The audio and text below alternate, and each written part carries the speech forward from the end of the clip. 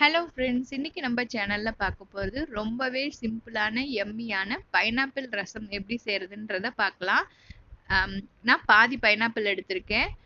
பைனாப்பிளை நல்லா தோலை கட் பண்ணிட்டு சென்டர் பார்ட்டை தனியாகவும் கண்ணு கண்ணா இருக்கு பாருங்க அந்த பார்ட்டை தனியாகவும் எடுத்து வச்சுக்கோங்க. சென்டர்ல கண் இல்லாத பகுதியை குட்டி குட்டியா கட் பண்ணி நம்ம வதக்கி வச்சுக்குவோம்.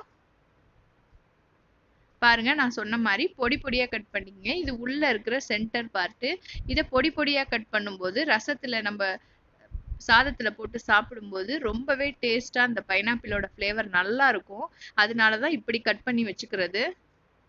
இந்த கண் இருக்கிற பகுதியை நம்ம தூக்கி போடாம ஜூஸா அடிச்சுக்கலாம். இந்த மாதிரி எல்லா பைனாப்பிள் பீசஸையும் தனித்தனியா கட் பண்ணிட்டு எடுத்து வச்சுக்குங்க.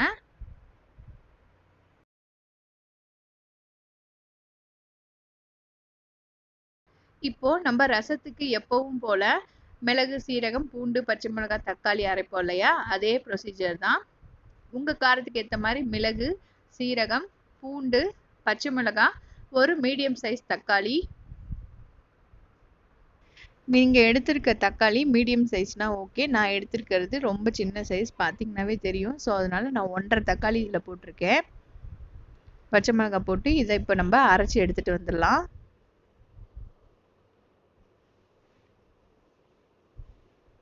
ஒரு கடாய் வச்சுக்குங்க. கடாயில் கொஞ்சமாக எண்ணெய் விட்டுக்குங்க.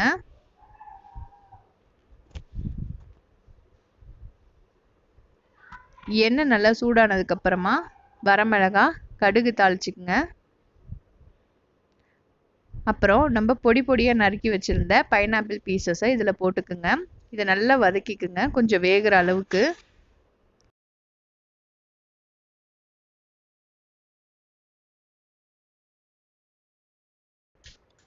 இப்போ நம்ம அரைச்சி வச்சிருந்த பேஸ்ட் இதில் சேர்த்துடலாம்.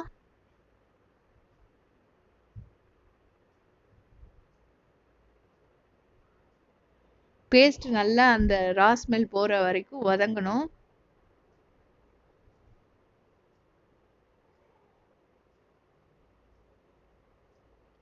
தேவையான அளவு உப்பு சேர்த்துக்குங்க. இப்போ நம்ம எடுத்து வச்சிருந்த அந்த கண் உள்ள பகுதியை அரைச்சி ஜூஸ் எடுத்துக்கலாம். ரசத்துக்கு தேவையான அளவு தண்ணி ஊற்றிக்குங்க ஜூஸுக்கு தேவையான அளவும் தண்ணி ஊற்றிக்குங்க எக்ஸ்ட்ரா புளி தண்ணியெலாம் நம்ம சேர்க்க போகிறது கிடையாது. நம்ம கண்ணு கண்ணாக அரைச்சி எடுத்த பகுதியை ஒரு வடிகட்டி வச்சு வடிகட்டிக்குங்க. அதில் சின்னதாக ஏதாவது நாக்கில் குத்துற மாதிரிலாம் இருந்துச்சு அப்படின்னா நமக்கு நாக்கு அரிக்கும். அதனால நம்ம வடிகட்டிட்டோம்னா அந்த சக்கையெல்லாம் தனியாக வந்துடும்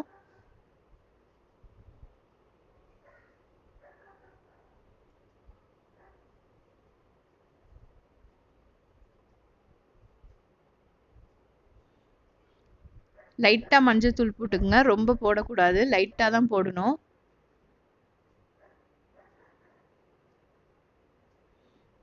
கருவேப்பிலை சேர்த்துக்கலாம். கருவேப்பிலை நீங்கள் எந்த ஸ்டேஜில் வேணாலும் சேர்த்துக்கலாம். தாளிக்கும் போதே சேர்த்துடலாம். இல்லை இப்போ கூட சேர்த்துக்கலாம். டேஸ்ட் பண்ணி பாருங்க.